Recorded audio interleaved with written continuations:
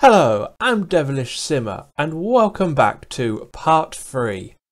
Now in part 2 we went through fixing the problems with the in-game options menu regarding resolutions and the smooth edges tool. Now in this part we are going to go through fixing some of the in-game major glitches. So our first one that comes up is the infamous shadows. As you can see, the shadows have been replaced with big, hideous black square boxes. Now, this is a very quick and simple fix. All you need to do is head over to the Mod The Sims website. Again, I will place the links in the description box below. You just need to come over to the Sim Shadow fix. And as you can see, we have the black boxes, which are replaced with the normal working shadows within the game. Now there are a various choice of shadows ranging from light shadows up to darker shadows.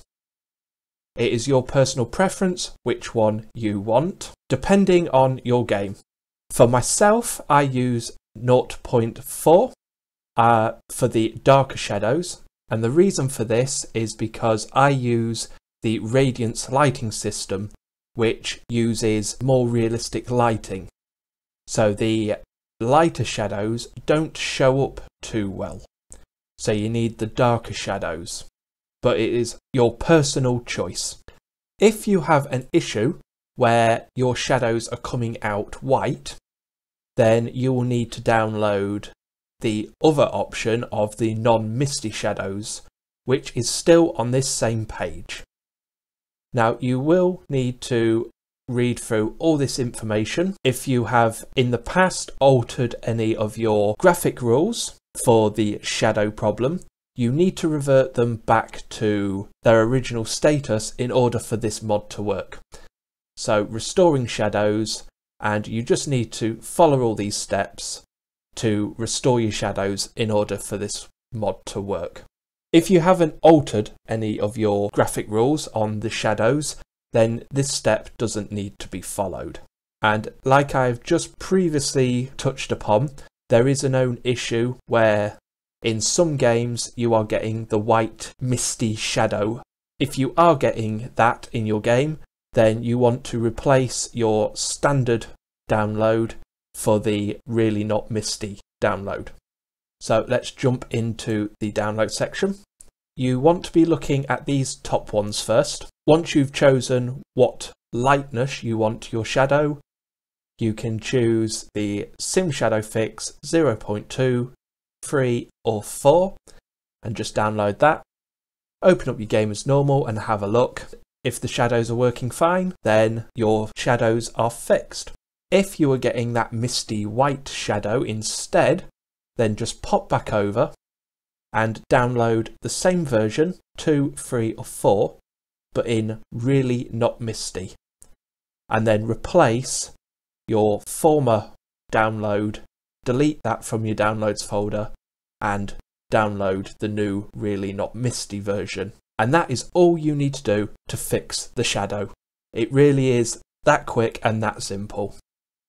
Now, we will go over to the other major graphical issue within the game, and that is this one.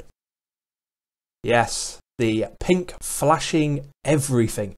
This is due to the graphical memory of storing textures within the game.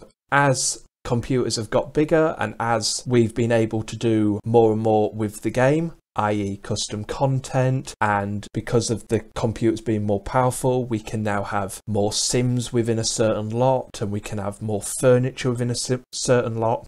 We're adding more and more to the lots, we're adding more and more to the game but the problem is the game memory to hold all that is not changing. So what the game is doing, throwing out all the old files that it's not using to keep loading in new files and then eventually when it is full and it can't load any more new files in and it's not throwing any more files out, we start getting this issue. It's basically the game failing to load up textures. So it replaces that texture with the pink flashing, which is basically an error.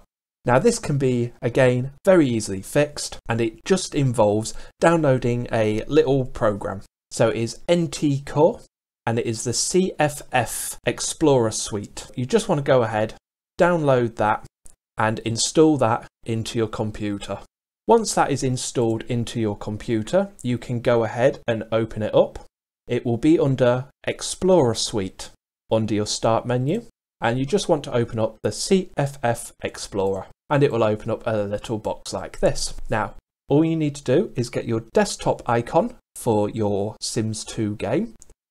Just click and drag and place it in this box, and it will open up the directory for that particular game. What you want to do is you want to head into File Header, that one there. Then you want to head over to Characteristics and you want to click here, where it literally says click here. This will open up a little characteristics box and you don't need to touch anything other than this box here.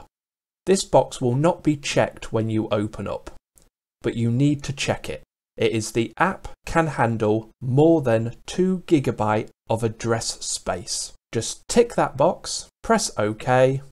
It will change the files in that game. You can just save, overwrite the original, yes, close down that program, and you are sorted. You should never see those pink flashing boxes ever again. I personally have not. That is now all the major graphical glitches within the game sorted.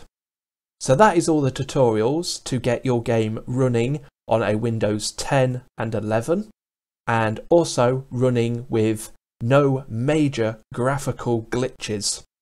So hopefully you should be able to enjoy the game as you were the day it first came out. I'm Devilish Simmer. I hope these tutorials have been of great use to you I also hope that you following this tutorial has made a difference to your game. If it hasn't, I'm sorry. It just may mean there is a different issue with your game, which you may just need a little bit of research online to sort that out. For now, until the next one, happy simming guys.